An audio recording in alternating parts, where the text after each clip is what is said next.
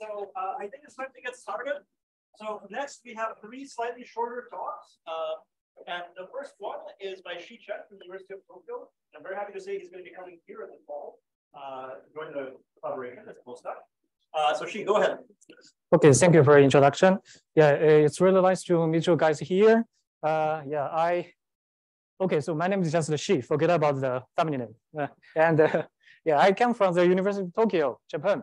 Uh, yeah, and it's really nice to be here to uh, join this uh, uh, Simons collaboration conference to talk about some topics related to the uh, confinement physics. Yeah, my research is in collaboration with Yuya. So Yuya is also there. He will give another talk, yeah, like two days later, I guess. Uh, and uh, yeah, because I'm now suffering from the jet lag. So if I say something too stupid, please correct me, Yuya. yeah. Okay, so yeah, so yeah, from this title, uh, you may think that my talk might be a little bit off the topic because I'm going to talk about the generalized symmetry. Yeah, but uh, yeah, actually, this is uh, also close related to the uh, confinement physics because we know that uh, the one-form symmetry is very important to understand confinement. And uh, we know that confinement is a very non-perturbative phenomenon. So in order to understand it, we have to look at the mathematical structure of non-perturbative uh, quantum field theories, which is very tough.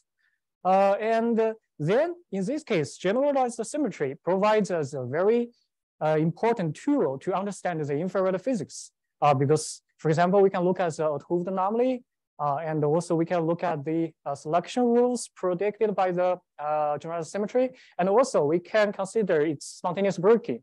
all of these constraints infrared physics. so in that sense, generalized symmetry is also important for uh, any non-perturbative phenomena, including confinement. Uh, yeah, for example, just as I just mentioned, uh, the confinement is very is tightly related to the higher form symmetry. we know that we can characterize confinement uh, by some one form symmetry. For example, if we know that the center symmetry of uh, Yang-Mills theory uh, is not spontaneous broken, and then we can see that, oh, we have some confinement phase here. And similarly, on the dual side, if we see some uh, magnetic uh, higher form symmetry, if it's, all, uh, if it's spontaneous broken, and then we see that we have uh, confinement here. So this is somehow a dual description. So uh, in this sense, uh, as I, uh, because I assume, I assume that you are, you guys are very familiar with uh, higher form symmetry. So, but also let me slightly introduce what is higher form symmetry. for the ordinary symmetry, the uh, generating operator for this symmetry is a codimension one uh, topological operator. Uh, but if we look at higher codimensional uh, topological operator, then we can create uh, so-called higher form symmetry. Uh, so it's typically called a P-form symmetry for codimension P plus one topological operator. and um, the important center symmetry in confinement physics is one form symmetry, which means that the uh, its topological operator has codimension two. Uh, so this is uh, what we are familiar with. And uh, but actually, the allowing different dimensions is just the beginning uh, to get generalized symmetry. We can also generalize symmetry in many, many other ways. Uh, here, I present two important ways. Yes, the first way is to consider the interaction between different dimensions. I mean, for example, if we have some uh, codimension P uh, topological operators, uh, if we connect them together to make some uh, to make a web, then on the junction, uh, we can have some uh, higher codimensional topological operator. So in this case, the topological operators in different codimensions will interact with each other and to make up a more complicated algebraic structure. So in this case, this kind of symmetry is typically called a higher group symmetry. So for higher group symmetry, uh, we cannot simply talk about, uh, for example, one form, two form, three form. Uh, this is not so good because they somehow mix together with each other. So we have to regard them as a whole. uh, this is one of the important generalizations. Uh, the second generalization, uh, which is called non-invertible symmetry. In this case, we know that typically we believe that the symmetry action is invertible, which means that we have to use a group to describe the symmetry. Yeah, but recently people realized that in some cases, this might not be true. we might have some non-invertible symmetry action. So in this case, uh, we cannot use a group to describe the symmetry, but we have to use some other more complicated objects. So in this case, uh, we have the non-invertible symmetry. Okay, so uh, since we already know that the high form, uh, the high form symmetry is already important enough to uh, constrain the infrared physics, uh, this is also the case for higher group symmetry and non-invertible symmetry. so people found many examples with higher group symmetry or non-invertible symmetry. And people use them to constrain the uh, infrared physics to find a lot of interesting uh, phenomena. And um, this is the background. And uh, in this talk, I and Yuya, uh, we found some interesting connections uh, between different kinds of generalized symmetries. And uh, so here I'm going to give an introduction of our finding. and the key of our finding is something called the solitonic symmetry. Uh, the, name might be not so uh, familiar, but uh, yeah, it's actually uh, some very uh, classical object. Yeah, in short, the solitonic symmetry is uh, generated by topological functionals, and it acts on defect operators, and it tells us the selection rule of solitonic excitations. I mean, the excitation, which can be regarded as solitons. Uh, so here I give two uh, simple example. Yeah, we can consider the uh, compactified boson. And in this case, because the, uh, the, target, uh, uh, the target space of the path integral is the loop S1. So we have a non-trivial homotopy group pi one. in this case, we have an according solitonic symmetry, which is D minus two form. and um, its uh, generating operator is given by this kind of expression. Uh, it's not a defect, but a functional. Uh, so we call it a topological functional. And its charged operator are given by some defects. Uh, depending on the uh, space-time dimension, we have different uh, defects. And when we try to evaluate this kind of expectation value of defects, and we will find that uh, inside this loop, for example, or between these two dots, uh, the classical solitary configuration will appear uh, to give a contribution uh, so that we can get, for example, this kind of area law, uh, or if we do not have a potential, we just have the conformal behavior. So uh, this is a typical example for the solitonic symmetry. Another familiar example is Maxwell theory. in the Maxwell theory, I mean, U1 gauge theory, uh, we have this kind of homotopy group, pi 2 of the classifying space of U1. Uh, I denote it as BU1. And uh, in this case, we can uh, similarly construct this kind of solitonic symmetry. And the charged objects uh, are 't Hooft uh, points or 't Hooft lines. so I guess this is also another familiar example. so the I and Yuya found that the solitonic symmetry uh, might be a very interesting tool for us to understand more general generalized symmetry.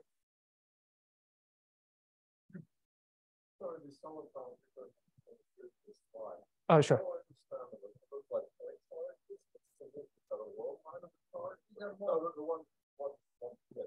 Ah, okay. So in this case, for example, yeah, let's consider the uh, uh, yeah space-time uh, 3D, uh, 3D space-time dimension. And in this case, uh, this is like the monopole, monopole defect. Yeah, yeah. And in this case, this is like also the monopole defect, but because of the space-time dimension. So it's now a line. Yeah. Yeah, yeah, yeah. You can call it the worldline of monopole, yeah. So if we increase the space-time dimension, we will have like a surface and so on, yeah. Okay, so uh, according to the previous slide, uh, we find that uh, the D minus P minus one form solitonic symmetry uh, is given by the Pontryagin dual of the according uh, homotopy group, IP. Uh, and this leads us to ask a question. So because the pi p uh, might not be commu uh, commutative if p equals one. Uh, in this case, the Pontryagin dual of this pi one is not, uh, how you say, informative enough. Yeah, if we know the Pontryagin dual of pi one, we may not reconstruct the pi one itself. So we lost, we lose some information. Uh, so the question is then, what is the correct symmetry to describe this situation? And then we have to think about uh, the some some some subtlety uh, in understanding this situation. That is because we have a difference between the free homotopy and the based homotopy, uh, which means the uh, how do you say the uh, deformation class of maps from a S1 to our target space. Uh, this set is different from pi1 uh, because pi1 is defined as the based homotopy of pointed maps. So uh, if we take this kind of difference into account, we will find that actually the real uh, set of deformation classes of this map uh, is classified by the conjugacy classes of this pi1. So uh, as long as we know this fact, and we can try to construct the symmetry operators uh, for this case, and then we'll find that uh, the topological functionals on S1 uh, must be spanned by the characters of irreducible unitary representations of this pi one. And uh, the fusion, uh, the how to say, something like the group multiplication is given by the tensor product of the representation uh, because this kind of relation of the characters. And uh, because we now have representations of dimension higher than one, so this kind of fusion rule might be non-invertible. Uh, this comes from the non-commutativity of the pi one group. And uh, so in general, the D minus two form symmetry, uh, D minus two form solitonic symmetry is given by the uh, Tannaka dual of this pi one. Uh, this is a mathematical name. So its algebraic structure is described by a symmetric tensor category instead of just a simple group. Uh, so uh, this is the case for the pi 1 for the d minus 2 uh, solitonic symmetry. And we can understand this story. Uh, sure, sure. Uh, uh, I'm sorry, this is, uh, yeah, uh, yeah, we can, we can consider the, all the representations, all the finite dimensional uh, representations of this pi 1, and uh, they have some relations. For example, we can add them together, or we can tensor them together. So in such a way, they form somehow some, some algebraic structure. And that algebraic structure is called the Tannaka dual of this pi one, and we, which is a tensor category. Uh, so it is far more complicated than groups.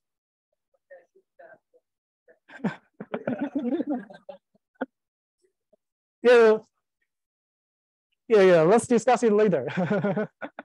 yeah. So the key point is that this is a non-invertible symmetry it's not a group because for in group, we must have invertible elements.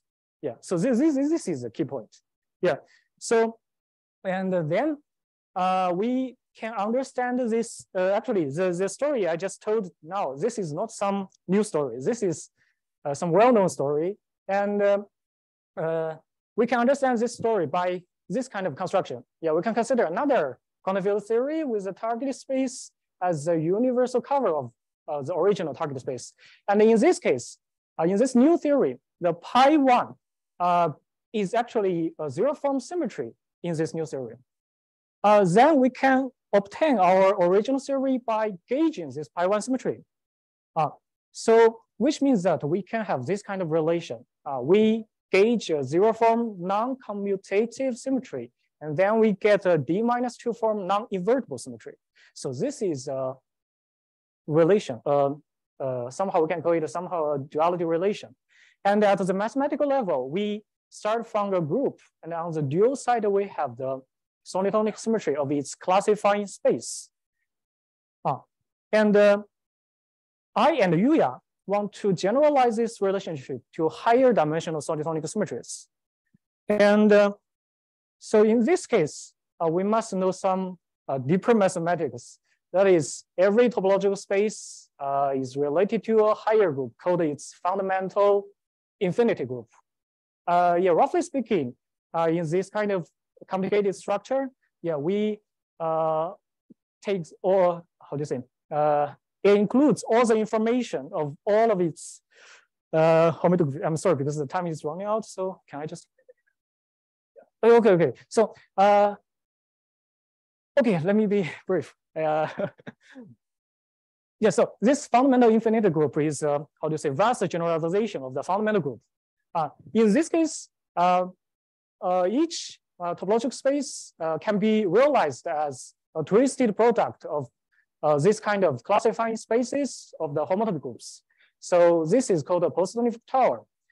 Uh, okay, so in such a way, uh, this result is called the homotopy hypothesis, which means that there is a one-to-one -one correspondence between the uh, higher groups and the homotopy type of topological spaces.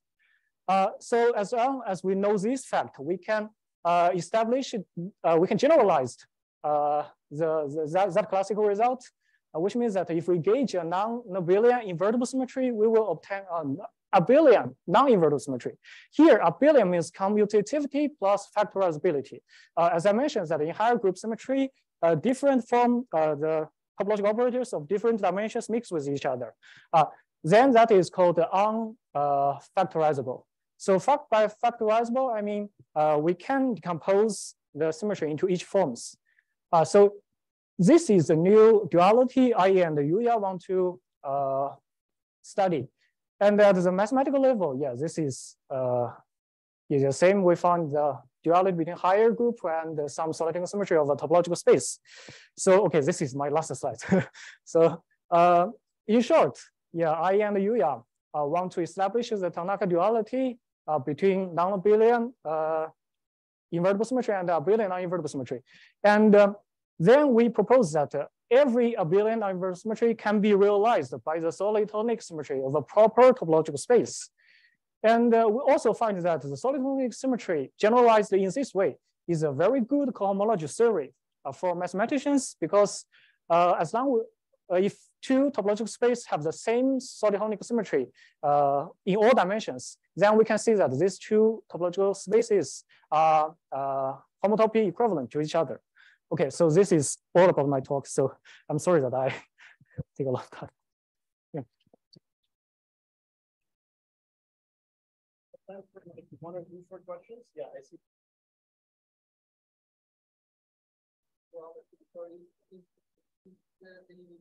The, non-invertible get another million. Yeah. Uh, if you gauge a discrete non-abelian then Wilson moves associated with the state field, gauge field, are topological. Is that the Oh, yes, I think this is a classical case. Yeah, so we want to. Yeah, yeah.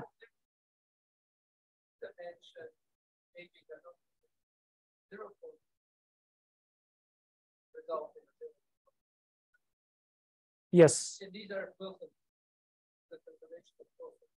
yeah, basically, yes. Yeah. Since this slide is, I'm going to use my position slide and ask, is this just for discrete symmetry? Oh, yes, yes. Yeah, Only discrete. yeah, yeah. So for this, saying that there's obviously non-invertible symmetry in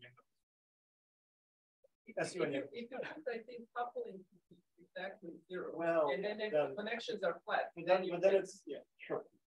If it's flat connections, then yeah, yes, indeed. Yes, you can consider flat. Emily.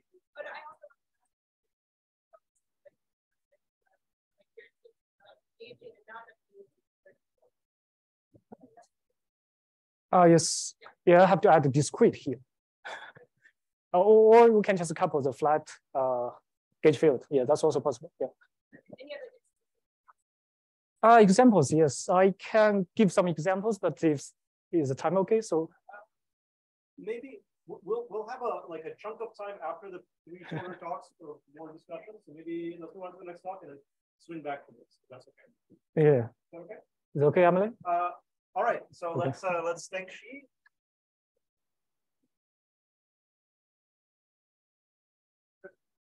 Hmm. Thank you very much.